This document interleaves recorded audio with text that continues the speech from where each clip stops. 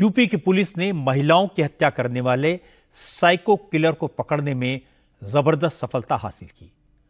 बरेली के शाही और शेरगढ़ इलाकों में पिछले चौदह महीनों में नौ महिलाओं की निर्मम हत्या हो गई थी। इन महिलाओं का कोई कसूर नहीं था, किसी से दुश्मनी नहीं थी, हत्यारे ने कोई सुराग नहीं छोड़ा था। पुलिस ने इन सारे मामलों की जाँच शुरू की तो ये पता लगा सभी महिलाओं की हत्या की मोडस ऑपरेंडी एक ही थी। महिलाओं की उम्र 45 से पैंसठ साल के बीच थी। सभी को उन्हीं की साड़ी या चुन्नी से गला घोटकर मारा गया। सारी हत्याओं में फंदे की गांठ गर्दन के बाईं तरफ़ लगाई गई थी। हत्या सुनसान इलाकों या झाड़ियों के पीछे या फिर गन्ने के खेतों में की गई। इसके बाद पुलिस इस नतीजे पर पहुँची कि हत्या करने वाला कोई सीरियल किलर है। बरेली पुलिस ने इस केस की जाँच को चैलेंज की तरह लिया। इसे ऑपरेशन तलाश का नाम दिया गया। आरोपी को पकड़ने के लिए पुलिस ने 22 टीमें बनाई। पुलिस ने 25 किलोमीटर इलाके में वहाँ लगे 1500 सीसीटीवी कैमरों की फुटेज की जाँच की। निगरानी के लिए 600 नए सीसीटीवी कैमरे भी लगाए। डेढ़ लाख मोबाइल फोन्स के डेटा को खंगाला।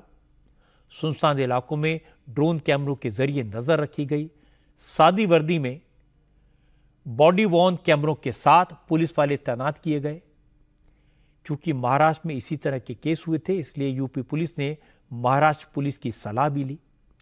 कई महीनों के एफर्ट के बाद पुलिस को आरोपी का हुलिया मिल गया। पुलिस ने स्केच बनाकर हत्यारे की तलाश शुरू की।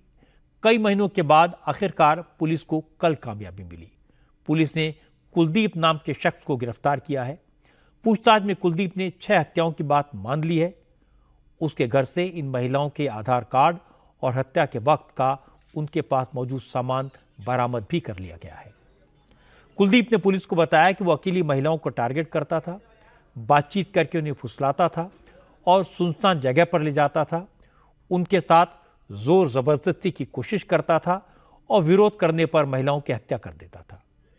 बरेली के एसएसपी अनुराग आर्य ने कहा इस केस को क्रैक करना मुश्किल काम था, क्योंकि मर्डर किसी वेपन से नहीं किए गए थे और अपराधी बहुत ही शातिर था। इसको एक ऑपरेशन तलाश का नाम दिया था। एक वॉर रूम तैयार किया गया, उसमें पूरा डेटा फ़ीड किया गया, बहुत सारे चार्ट्स तैयार किए गए। इसमें पोस्टमार्टम रिपोर्टों का डिटेल में अध्ययन किया गया। एसपी साउथ एसपी नॉर्थ साहब के द्वारा फॉरेंसिक जो एक्सपर्ट्स हैं, उनसे भी बहुत सलाहें ली गई। उनके द्वारा जो इनपुट दिए गए, कुछ क्लिनिकल जो साइकोलॉजिस्ट होते हैं, उनसे बातचीत की गई, उनके द्वारा काफ़ी इनपुट्स दिए गए। और सीसीटीवी कैमरा लगभग 1500 सीसीटीवी कैमरा की फुटेज हम लोगों ने देखी। 600 सीसीटीवी कैमरा नए इंस्टॉल किए गए इस एरिया में।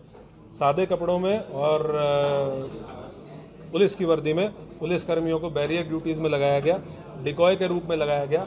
बहुत से हिडन कैमरा जो दिखते नहीं है, ऐसे कैमराओं का इस्तेमाल सादे कपड़ों में पुलिसकर्मियों को देकर किया गया, जिससे हम लोगों को बहुत इंपॉर्टेंट क्लिंचिंग एविडेंस भी प्राप्त हुआ है।